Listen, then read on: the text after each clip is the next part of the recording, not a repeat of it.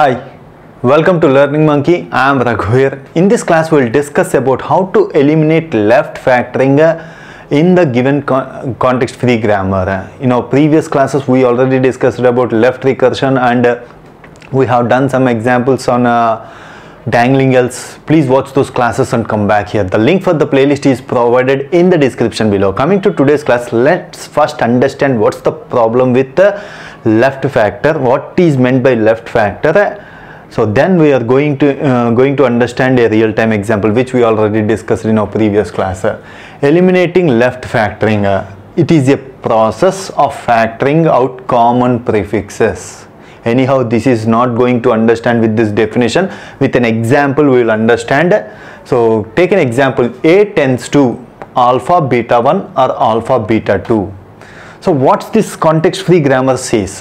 This grammar says that if you expand the production a if you find the input symbol alpha you can call beta 1 the second production says if you find the input symbol alpha you can call beta 2 here we are having a confusion if you find the input symbol alpha you are having two options. You can call beta 1 or beta 2 this is what common prefix means. With this common prefix we are getting confusion. That's why it is this grammar is non-deterministic grammar. We call it as a, it is providing non-determinism confusion.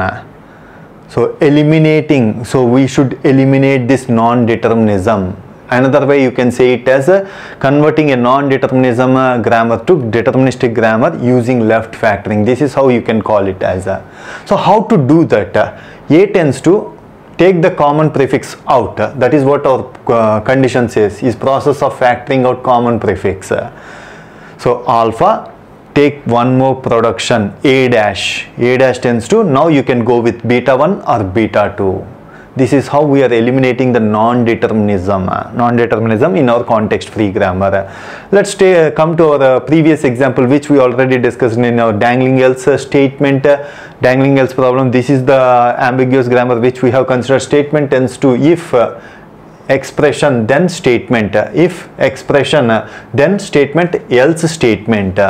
What's the common prefix that we are having here? If expression then statement. Up to here both are same.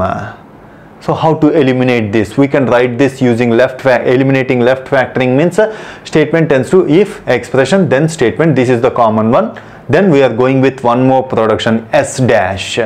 S dash tends to else statement or epsilon. This is how we will eliminate the left factoring uh, taking out the common prefix so that we are having deterministic context free grammar decision is easy. There is no non-determinism in this grammar.